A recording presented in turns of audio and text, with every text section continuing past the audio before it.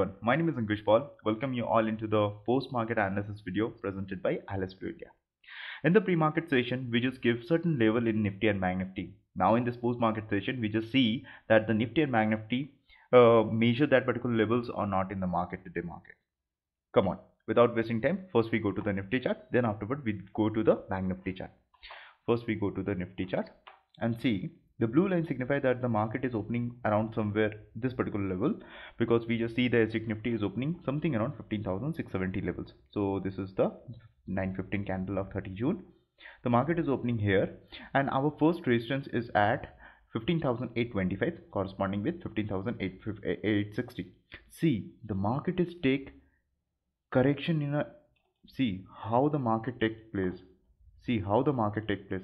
Again our support is at 15750 see how the market respect our particular levels. See how how the market respect our levels.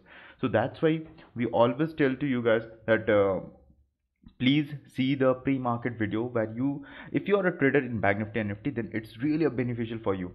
Now our second thing is that bank nifty. Now we go to the bank nifty chart and see the market is opening around something uh, this particular level.